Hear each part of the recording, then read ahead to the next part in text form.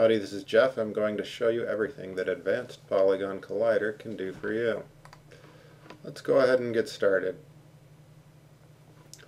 When you uh, load the demo scene, that'll give you the uh, information you need on how all of this works. The gist of it is, is you create sprites, add them to your scene, and then add the Advanced Polygon Collider script, which is in the script folder here. Once you've done that, you'll see that if you hadn't already added a sprite renderer and a polygon collider 2D, that those will be added for you as they are required by this advanced polygon collider script to work. It contains a number of sliders, some of which you can leave alone. The Hull tolerance is how closely it tries to match the edges. Generally, I just leave that at 2. Alpha tolerance 0.4, that means the bottom 40% pixels of those alpha values closer to 0 will be counted as transparent and be candidates for edges. The, really the, per, the slider you'll be using the most is the distance threshold, so let's zoom in on this asteroid and see how this works. As the distance threshold approaches zero, that means less and less consolidation will be happening on your vertices. Any vertices with a distance less than this value will get consolidated. So let's show you how this works as you drag the slider up.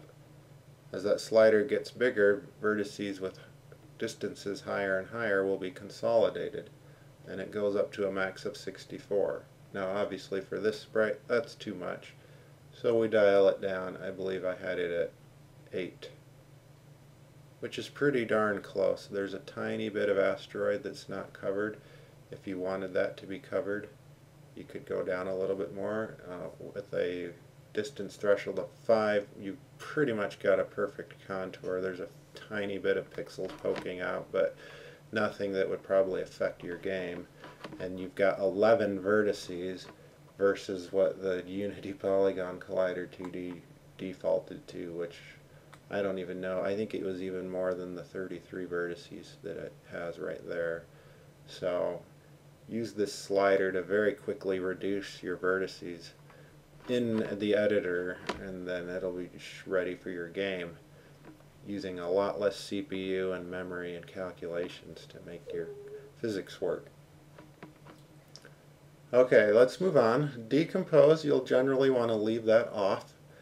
Uh, this will, if you turn it on, make all the polygons convex. Now Unity, the Polygon Collider 2D, already does this, so generally you can leave that off. In the future, I'm hoping Unity will have a parameter to their Polygon Collider that says, hey, my points are already convex, you don't need to run that algorithm.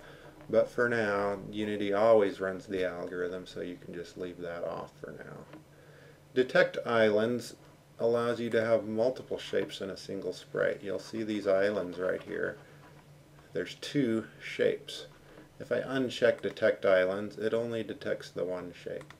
So leave detect islands off unless you have multiple pieces. I believe the default value is on, but you can turn that off if you know you will have a single shape. Detect holes, you can probably leave that off unless for some reason you have a giant sprite with a hole in the middle that the player can move around inside of. If that's the case, then you'll want to have detect holes turned on.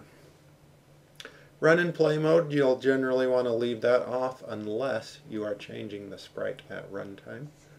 And there's a few cases where that might happen, like in animation. So let's show you an example of this animated cougar.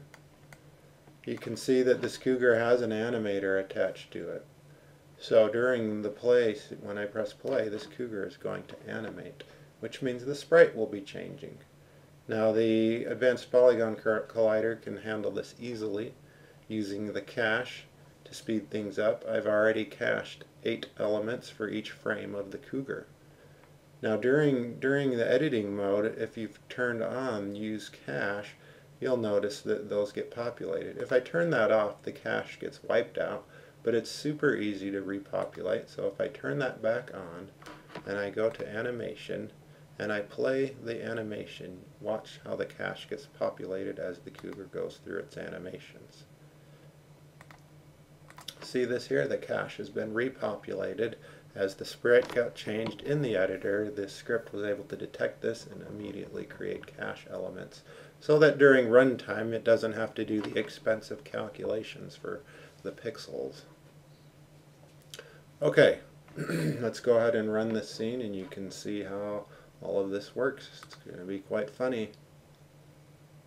There's the cougar animating. Let's select the polygon collider so you can see that. He's getting his polygons updated in real time as his paws move.